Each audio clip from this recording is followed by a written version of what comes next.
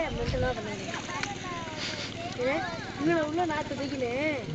இதில் போடாமல் இங்கே இருந்து இங்கே கொண்டு வரணும் இல்லை படம் பார்க்குறோம் படம் பார்க்குறோம்